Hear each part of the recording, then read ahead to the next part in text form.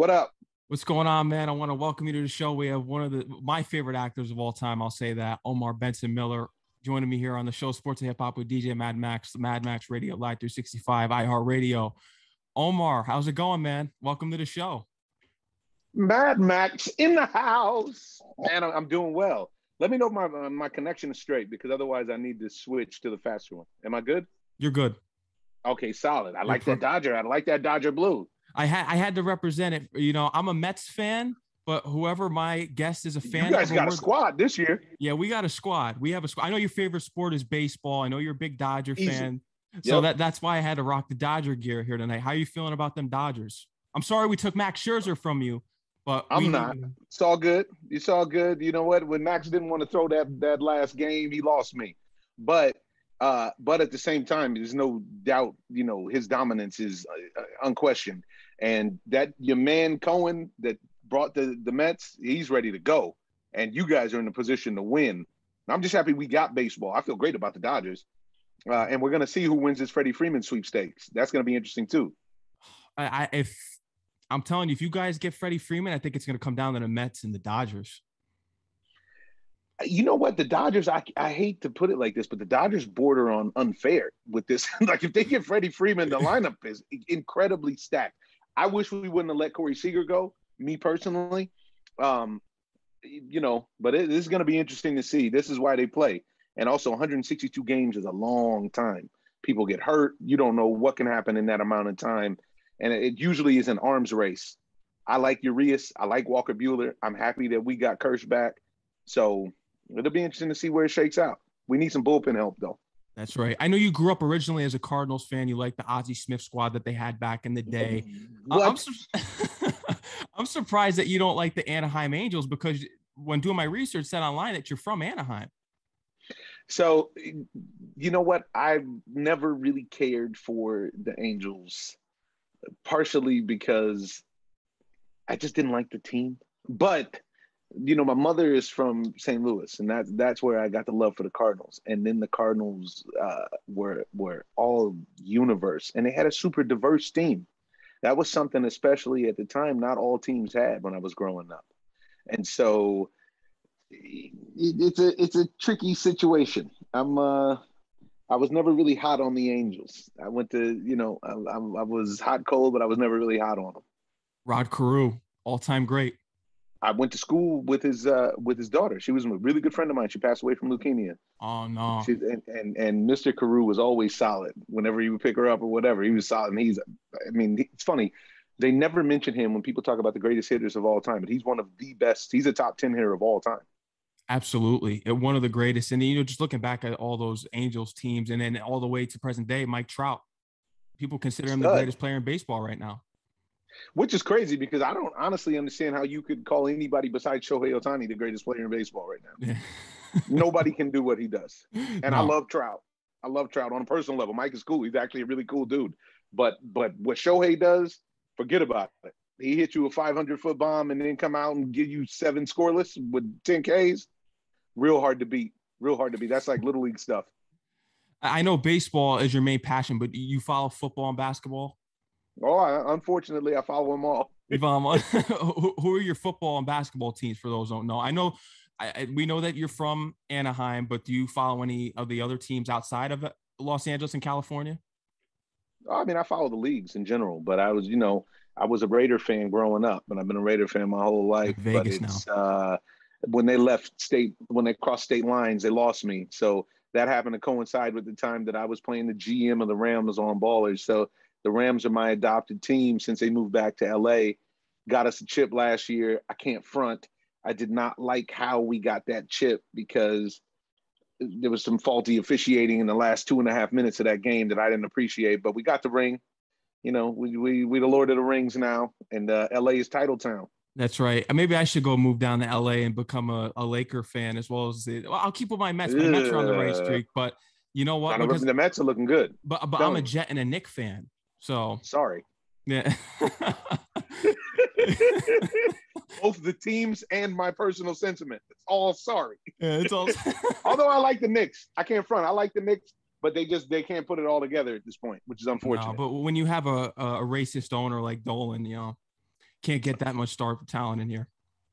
You think that's what it is? Yeah, I you think, think, people don't want to come because of the ownership. I think that's why it's why LeBron didn't want to go here because he had a meeting with them. You think that's why Durant didn't go?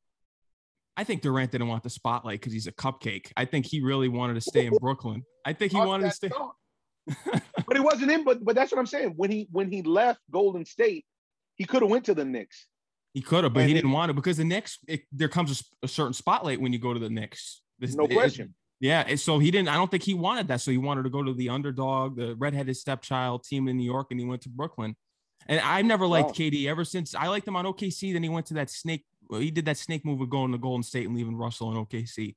Was never good with that. listen, I don't know if you saw my segment. I did a segment on uh, uh, Undisputed with was- Skip and Shannon where I said exactly that. Where I I was I was blown away. I mean, he was up three to one, and they lost that series against Golden State. And he went and joined them. It's a new it's a new thought pattern. You know, it's, It's a a new, new world. thought. It's a whole new world. It is. I want to get into your, your newest project on Apple Plus, Reggie. Yeah, The man. Last, Last, days, of Ptolemy Grey. Tommy Gray. It That's right. Uh, I'm very, I'm very, very, very proud of this piece. I'm happy to, that I, that I'm in it, and I'm happy that I'm batting leadoff in it and got the uh, get the show started. There's it's uh, there's six episodes. The first two are available now. They, and the new one comes out every Friday. It's with the great Samuel L. Jackson, uh, uh, a New York native, as a matter of fact. Dominique Fishback is starring in it. Um, we have a wonderful cast, and it's a great storyline about something super important because it, it the, the story follows a 91 year old man who's suffering from dementia, and he's watching himself slip from his his current faculties slip away from him, and he's watching himself slip out of relevance in society, and it's hard. I play Reggie, the only family member who actually checks up on him. Um, but what I've come to find is the reason Sam it was it's based on a book uh, by Walter Mosley, but the reason Sam wanted to get involved and push so hard to get this made is because his mother, his aunt, and I do believe it's his grandfather all suffered from Alzheimer's.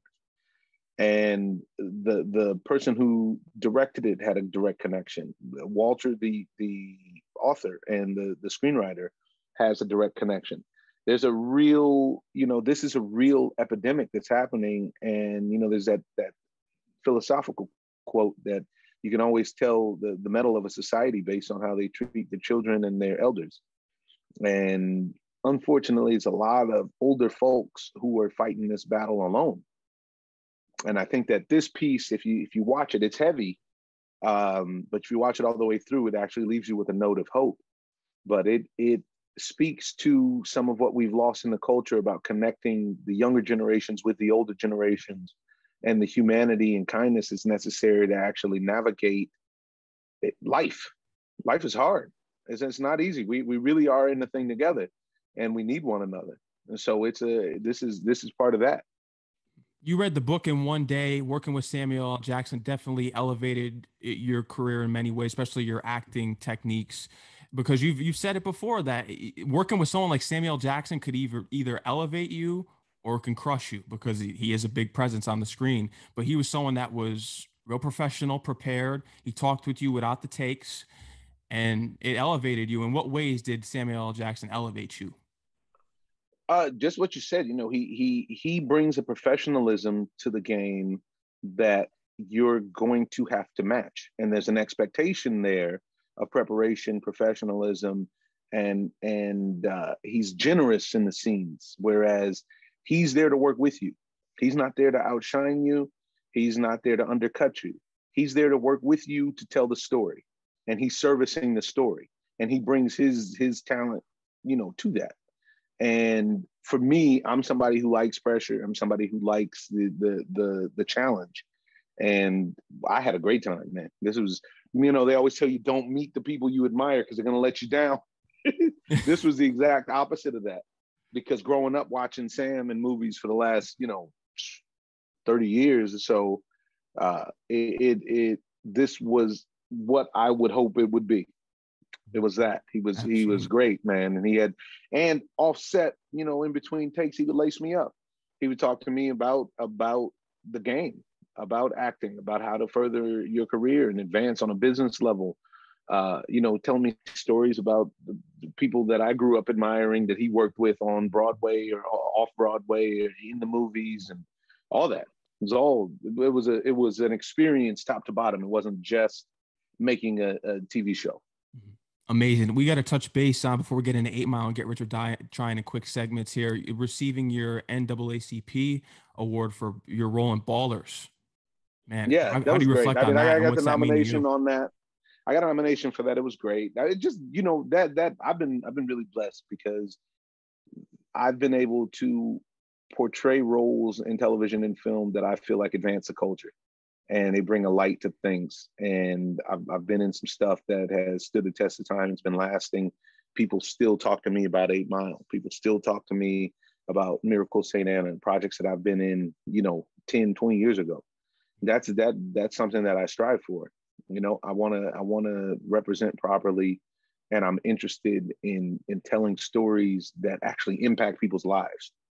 So it's been something that when you reflect on, and I don't do a lot of the reflecting because I'm busy trying to continue to move forward.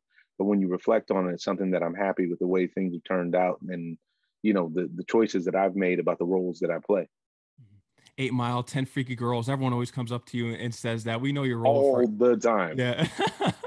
Everyone and the funny part is, is people come up to me and they say it in varying ways. It's never the right way. It's never 10 freaky girls. It's always, ah, 10 freaky chicks, tiki. Oh, you got nine freaky girls. Like, where'd the other one go? It's it's uh it's funny how that works. And walk me through you getting that role in, in Eight Mile and working with Eminem, especially in that freestyle scene when you're in the crowd. How was that whole experience for you? That was fantastic, man. I mean, I I got that role. I just graduated college and I was sleeping on my mom's floor. San Jose and, University. Uh, Congratulations. Yeah. Yeah, thank you. Yeah, I just got out of school, sleeping on my mom's floor, and I got the call for the audition, and uh, went to the audition, and it was the process because we I auditioned for the whole summer in 2001, um, from from like June until October. I probably had five auditions, four auditions for it, and a couple times I just thought it went away. And then I got the phone call that uh, they wanted to fly me to Detroit. And this was just after 9 11, that they wanted to fly me to Detroit to meet the director uh, to have an audition. I was like, wow, all right. So it was kind of spooky to get on the plane right then after 9 11. But I went, did that, and got the word that I got the job. And honestly, that, changed my life. And running around, I was just out of school. And I, and that is the first person of that magnitude of fame that I've ever met. And he was cool. You know, you run around Detroit with the, the King of Detroit. And that was an awesome experience in and of itself. That was my first winter. I'm from California, man. that was my first uh, real winter. It was ice cold out there. And you know, we have memories. Everybody. I was just looking at some of the tapes. I used to walk around like how people have their their camera on their phone. I used to walk around with a little mini DV camera. I was watching some of the tapes the other day of us all on set, and you see how many people were there that aren't with us anymore. You know, we had a lot of tragedy struck after that film, Brittany Murphy passing away, and Proof passing away, and D'Angelo Wilson passing away, and it was just a just a lot. It was a lot, and so it's a it's a life changing experience. I tell people that all the time. That movie directly changed my life, changed the trajectory of my life. Star-studded cast. Mekhi Phifer's in it. Anthony Mackie. Yeah, yeah, we had a lot of people, man. Evan Jones, Eugene Byrd. You know, you have Kim Basinger, who's obviously a giant, uh, and nobody was more popular in the world than than Marshall at that time. Uh, and then you look at, I mean, Michael Shannon. There's a bunch of people who, if you if you go back over that film, those people now are still the people. You know, that was like an introduction to a younger class, the next generation of of talent. Just magic made out of that film. Lose Yourself came out of that film as well. Just magic made, magic made it, and you're one of the products of it for sure. Oh man, and that's what I mean. It's a blessing to be a part yeah. of that.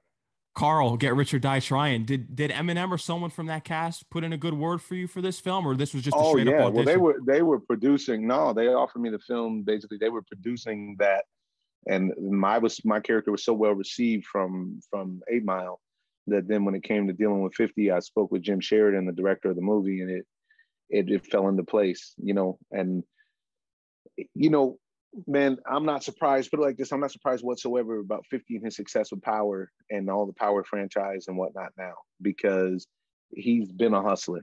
and that dude is is smarter than people think he is, and he allows people to underestimate him with a lot of his his antics. But he's uh, he's sharp as the tack, and that was another great experience, man. Another great learning experience. I try to take all these experiences and learn something when I'm on set. You know, I've been all around the world on the studio's dime, and that's a that's that's crazy. You learn so much about life and people and culture traveling.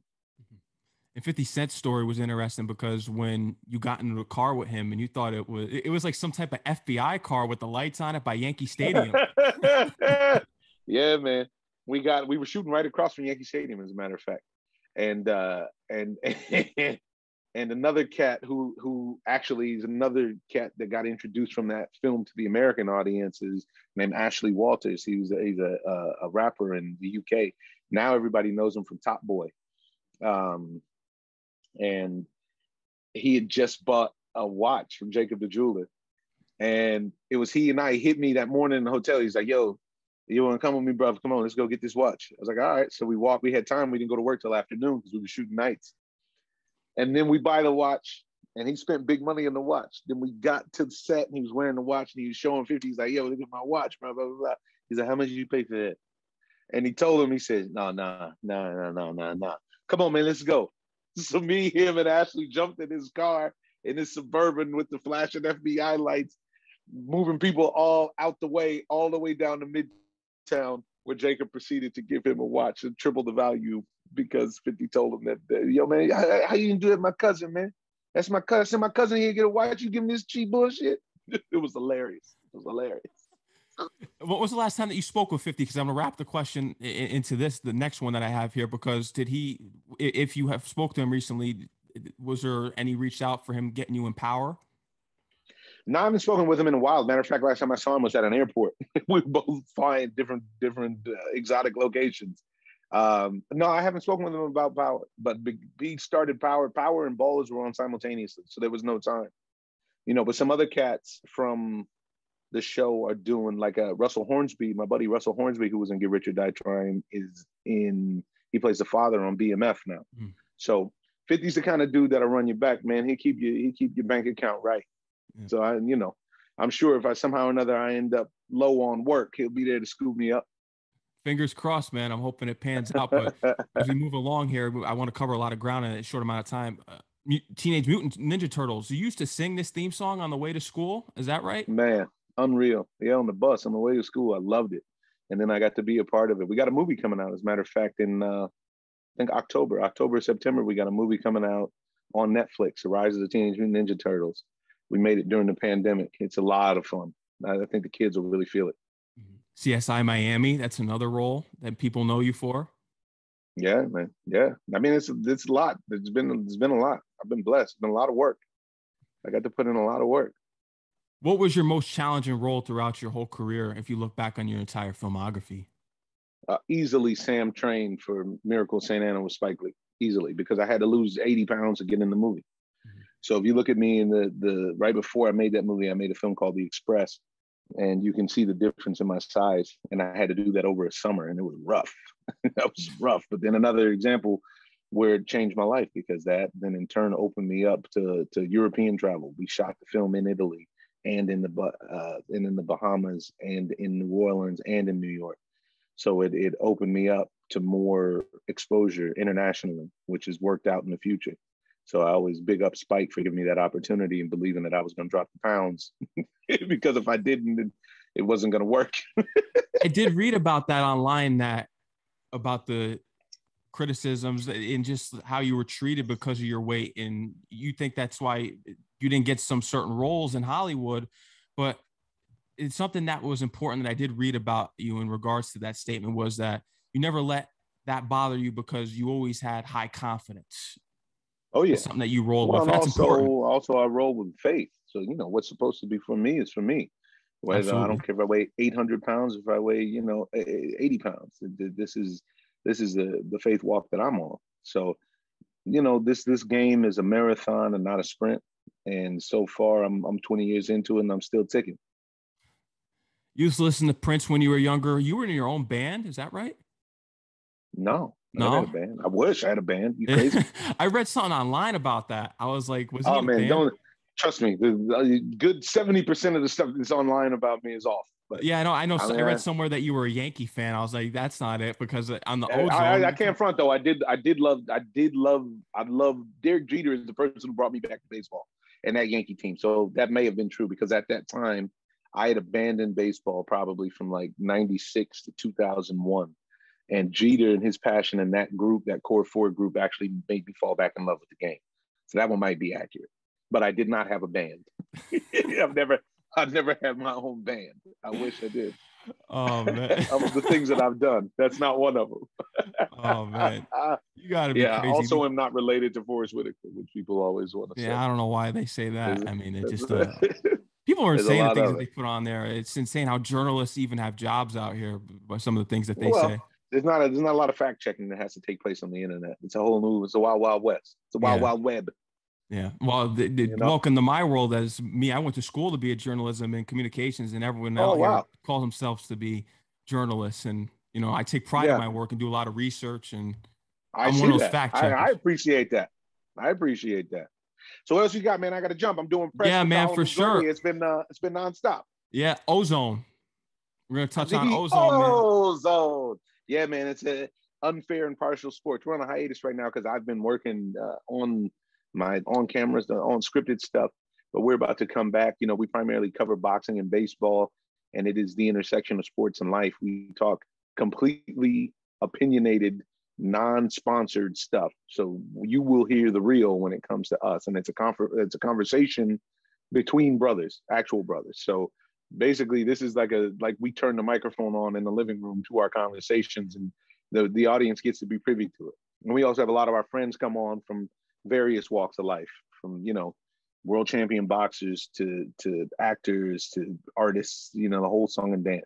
Good time. Mm-hmm. It, who's someone that you want on your show that you haven't had on yet as a big guest? Wow. I mean, that, that list is pretty long. We haven't had everybody on the show, but uh, you know who I would love to have on the show? I would actually love to have Mookie Betts on the show. Love to have Mookie on the show because I I don't want to get him in trouble. But Mookie's really humble, and man, Mookie's the best in the biz, and he he gets glossed over a lot for the accolades that he brings. There's a reason that he's you know two time champ. He ain't no joke. No, at all. We saw what really. he did with Boston, and we saw what oh my goodness. Oh my goodness. the championships just keep following this guy. It's not an accident. Uh, they, don't, they don't come accidentally. No, no. You have yeah, two man. important historical figures behind you in uh, a Muhammad Ali picture and then Trayvon Martin, who yeah. serves as you know a martyr, unfortunately, and just yeah. spreading awareness about the racism that we go through in America in relation to sports. Do you think Colin Kaepernick will be given a spot in the NFL again? Because we've been seeing the offseason news out here, him throwing the Tyler Lockett, and now that Russell Wilson's off the Seahawks, do you think there's an opportunity up there? What's your take and opinion on that? I don't think they're going to give him a shot. I, not that he doesn't deserve a shot. I was oh, yeah, he Super deserves Bowl one when he. I, I was at the Super Bowl when he was one pass away from beating the Ravens for the for the for the Super Bowl. Um, but I think that they have martyred him in a way for the movement that I, I think that even though they've acknowledged their wrong doing, I don't think they'll fix it in that way. And I think that's the product of uh, that's that's the evidence of showing how far we have to go in general as far as just this, the struggle for fairness you know and thank god you know colin kaepernick is doing all kind of great stuff and his influence he's a prime example of letting his light shine his influence off the field has gone so much farther than it ever went on the field. And you know living a life of faith you have to wonder about your own purpose. And i wonder about him if he looks at it and he says wow this was this was my purpose. Obviously he's a fantastic athlete and he looks like he's still in great shape and he could sling that thing, especially with all the bums you see in the NFL now. Fitzpatrick. So it's, it's, I, didn't say I didn't say no names. You said that. but, but, but I'm fine with that. in the NFL. And so and so with that, you know, I don't personally believe they'll give him a shot. I hope they do though. I really hope they do. And a real shot, not not some token shot. You know what I mean? a real a real opportunity. That one pass away from winning the Super Bowl. Do you think if he makes that pass and catches it and he scores that touchdown, is, does that change the outcome of Colin Kaepernick being? I wonder. I wonder because the truth of the matter is, winning covers a multitude of sins in the United States and in the world. I mean, the, the Americans love a winner, and that that usually can supersede a lot of uh, other feelings that they may have. So I wonder, but then you also have to wonder if he makes that pass, does he ever go down the trajectory of then being a backup and starting the protest and ultimately a super effective protest? Because prior to Kaepernick taking the knee, there was not a lot of conversation about police brutality towards communities of color. Mm-hmm. You know, so this is it's effective, and and what he had to sacrifice was his career. What he has though is a voice and he has multiple careers now. I mean, he's making television shows, he's making documentaries. You know, he's he's he's actually spending his money. His his his money is where his mouth is. He spends his money helping, helping build communities, so on and so forth. So it'll be interesting to see how it all shakes out. Yeah.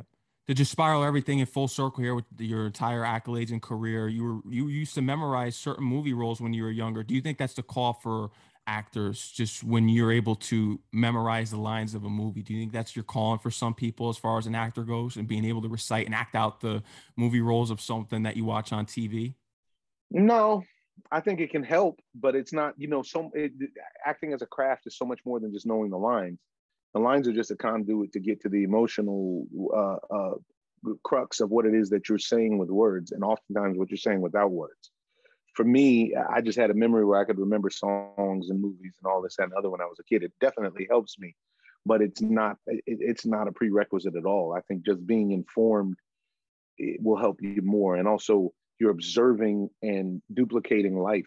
So being a student of life and, and observing things and whatnot, that, that this will this will service you a lot better. Watching people and being able to duplicate that behavior, you know. Easy really? does it in the Chronic, two your favorite hip hop albums from the West Coast. I know that. Did my research on that. easy. That's not even in question. I mean, I, I, got a handful more, but those ones are easy. That's, that's an easy call. Easy, easy does, does it. it. Easy does it. Anything else, man, yeah. that we didn't cover here? We we covered your your newest no, project man, on you, Apple you Plus. got it. You got it top to bottom. you, you covered me. You know it all. I think I left my social security number at the door.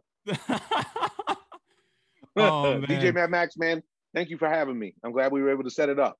For sure, man. Anytime that you're doing press, you know, uh, let's keep in touch here. You're always welcome on the show. You always have a spot here. Anytime you have press or need anything, man, you're more than welcome.